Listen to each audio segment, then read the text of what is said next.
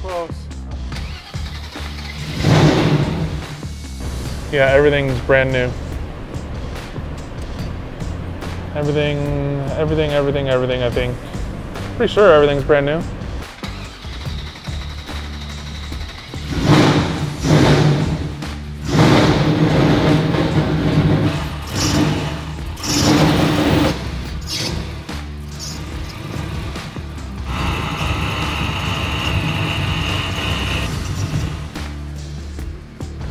I knew it would start. Hey, man.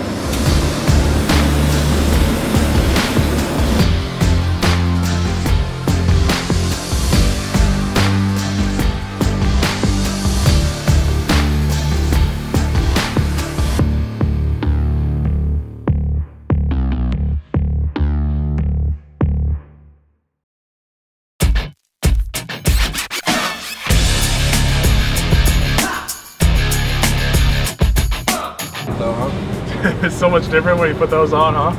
Yeah. Is it gonna travel and hit right there on the turn? No.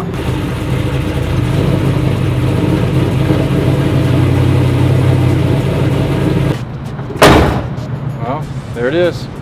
That's where it's at.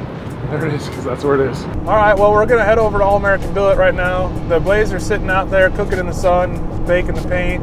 But we're gonna go over there, bend up a gas tank that we're building up, actually for Shane's personal project that's gonna be in his SEMA booth. We're just gonna check out what they got going on. I know he's busy with his SEMA projects and keeping up with normal business over there.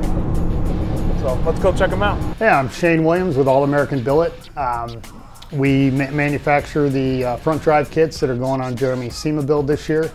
And uh, everything here is made in Phoenix, uh, Arizona, in the United States of America, and proud of it.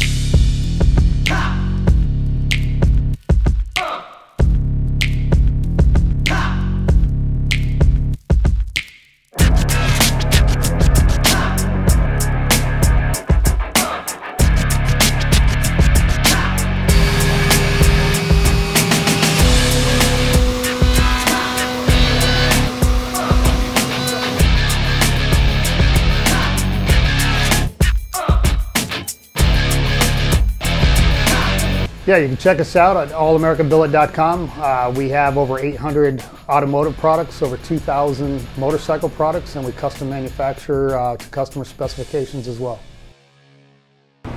We got the blah, blah, blah, blah, blah. Blazers all painted back down to Jeremy at Tre 5 Customs. Now we're gonna go ahead and do the shell.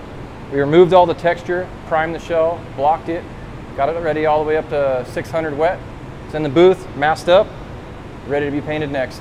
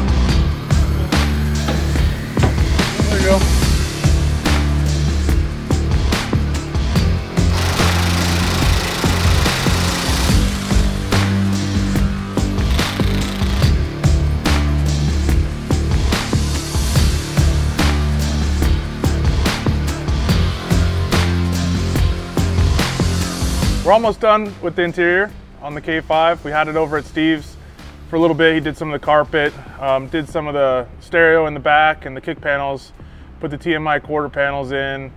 Then we brought it back over here, um, got the front seats mounted, threw the center console in, and then we just got done putting the dash in. Um, the dash has some new vents from Resto Mod, and then of course the Dakota Digital gauges. We've got a Bluetooth unit from Powerbass that controls the whole stereo. We also have an EQ. Um, it's got to go back to Steve one more time. So we're gonna finish a couple more things here and then get it back over to Steve and we'll get this whole thing wrapped up and hit the road for SEMA. We got the last piece of the puzzle here going on the truck. Today is, what, Friday? Leaving today. As soon as Brian gets here, we'll get this truck loaded up and the Suburban loaded up and we'll hit the road.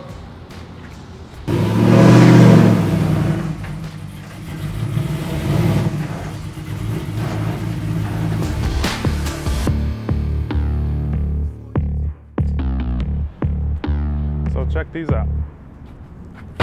So this is the, the new Max. This is like their Pro Premium pack. And it's got these bitchin' straps that are have this fleece lining over them. So like if we wanted to use the axle, we could wrap that around the axle or even like a wheel.